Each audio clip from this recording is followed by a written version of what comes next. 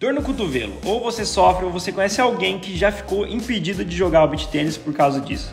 Nesse vídeo achei vários outros esportes que mostra como é utilizado bastante o antebraço e a rotação do osso do rádio sobre a una, o que influencia bastante em estar tá inflamando lá, causando a epicondilite, que eles falam que seria o cotovelo de tenista, né, para aquelas pessoas que acabam jogando os beach tênis lá por duas, três horas e não fortalecem para que façam esse esporte.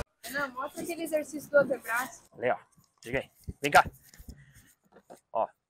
Eu fiquei lesionado por muito tempo com epicondilite, o cotovelo de tenista que a galera chama. E esse aqui me ajudou bastante, tá?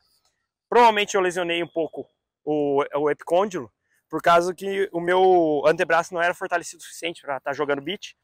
E aí esse exercício aqui, que nós fizemos, esse aqui é bem caseiro, tá?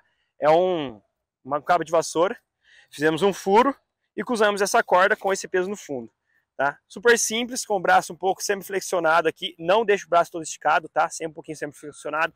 Escápulas é, juntas lá atrás. E eu faço o quê? Faço o movimento de recolher esse pezinho, ó. Dá um foco aqui, André. Aqui, ó. ó. Vou recolhendo esse pezinho e depois eu volto. Sériezinha de 10, 15, 20, depende aí de como você tiver de condicionamento.